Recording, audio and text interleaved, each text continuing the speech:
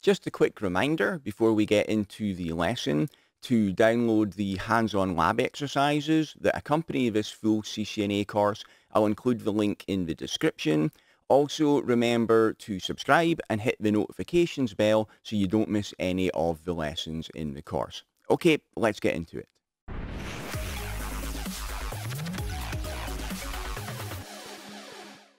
I want to show you how the command history works in a second. So I'm just going to enter a couple of random commands in here. This is just adding a couple of host entries.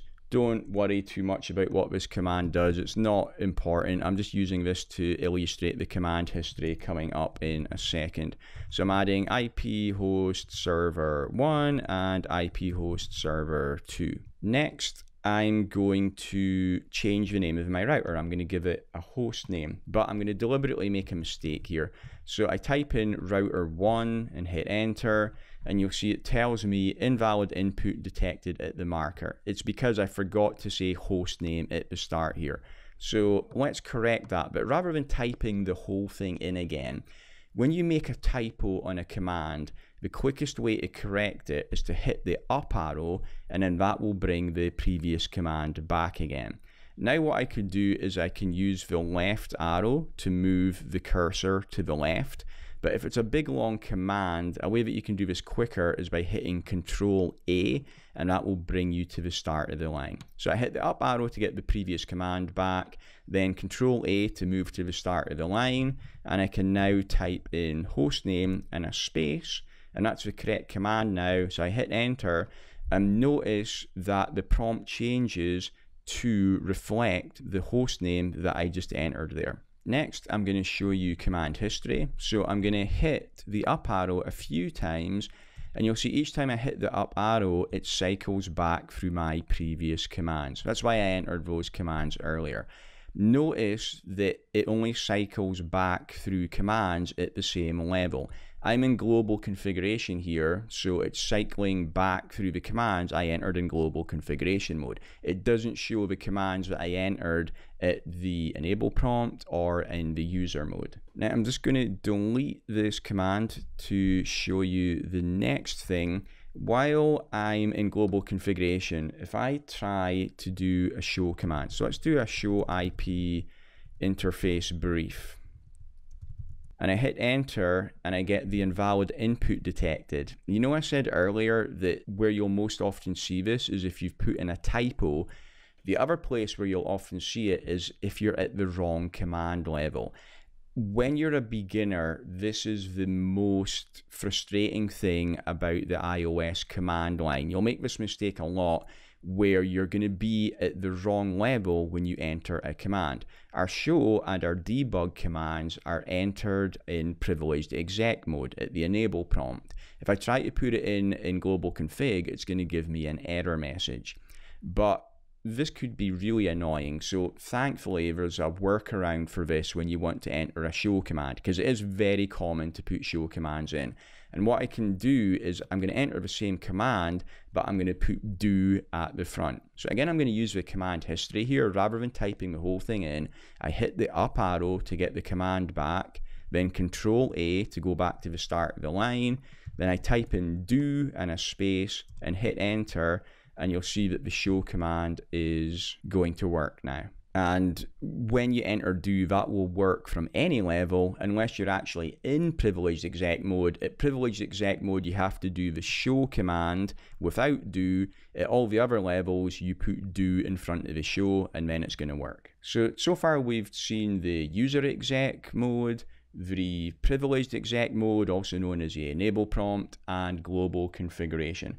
There's other levels when you're configuring something specific on the router. Meaning at global configuration, this is where I would do my global configuration for things that affect the router as a whole. If I wanted to configure a specific interface, I need to go to that level in the command hierarchy. So looking at my output here, I can see the interfaces I've got available on this router. If I wanted to configure interface fast ethernet 00, for example, putting an IP address on there, I have to go to interface configuration mode. So to get there, the command is interface, and I'll use tab completion here. So interface fast ethernet 0 slash 0. And notice here that in the output above, Fast Ethernet, that was capitalized at the start. Here, I don't need to use capital letters. IOS is not case sensitive. It doesn't matter if you use uppercase or lowercase, with one exception that we'll talk about a little bit later in this lecture. So I go to interface fast ethernet 00, hit enter. You'll see that the command prompt changes again to show config-if and I can see very clearly that I'm at the interface configuration level. If I want to drop back down a level, I enter the exit command and that takes me back to global config.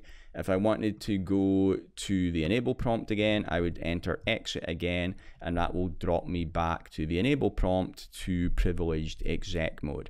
Notice from here, I can enter interface fast ethernet 0 slash 0 this is going to give me an error message because you have to go up through the levels one by one. You can't skip straight from the enable prompt to the interface prompt. So I'll go back through the levels. So I enter config T to get to global configuration and then interface fast 0 slash 0 to get to the interface mode. So when you go up through the levels, you have to go one by one. When you drop back down the levels, you can actually do that all in one go. So it was exit to drop down one level, to drop all the way back to the enable prompt with one command, I can enter end.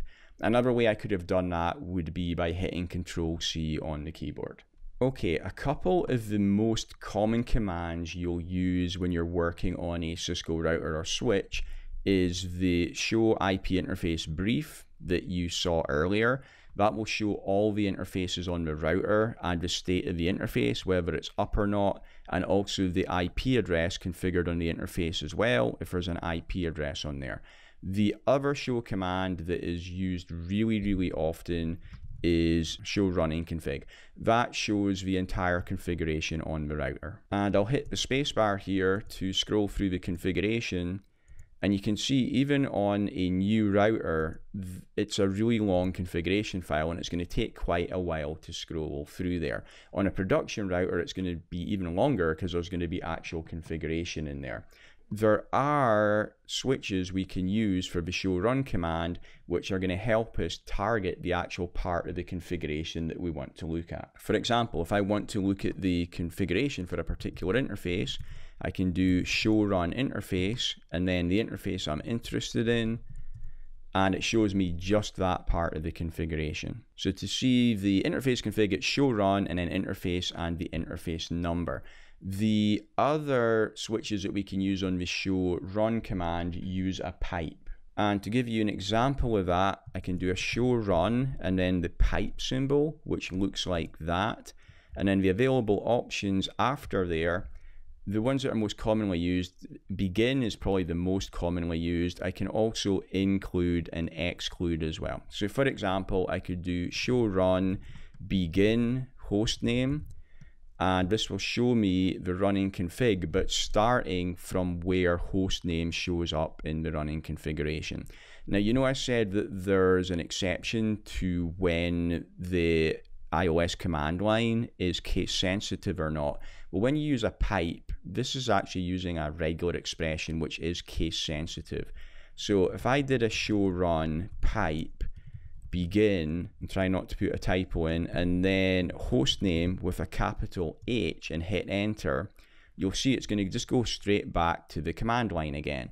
This is not an error. The reason is that hostname with a capital H is not in the running config at all, so there's no output to show. To give you examples for the other pipe options, I could do a show run and then pipe it to include interface and it will show me all the lines that include interface, meaning the word interface in the actual output. I can also do a show run and pipe that in exclude interface. This will show me all lines from the configuration that do not include the word interface. And I can also do a show run and pipe and section interface. That will show me the configuration for all my different interfaces. Now, when you've got a production router, you're not going to just have interfaces configured on there. You'll have other things like routing protocols, for example. So I could also do a show run pipe it section and put in the particular part of the configuration I want to see here. Now, if you put in a question mark, it's not very useful here because it just tells you line telling you to use a regular expression. But for example, I could put in section BGP to see information about the BGP routing protocol. I haven't configured it on this router yet, so I'm not going to get any output. But if I was using BGP on this router and I had a big long configuration on there, this would be a useful command because it would just take me straight to the BGP config and I could see that very clearly. Okay, so that's how to navigate the IOS command line. In the next lecture, we'll take a look at how to manage our configuration files. Thanks for watching. If you'd like to get the complete course ad-free right now, then you can click on the link above my head or in the description to enroll in my CCNA Gold Bootcamp. It also includes full study notes, quizzes, and 150 pages of additional troubleshooting labs you can't find anywhere else.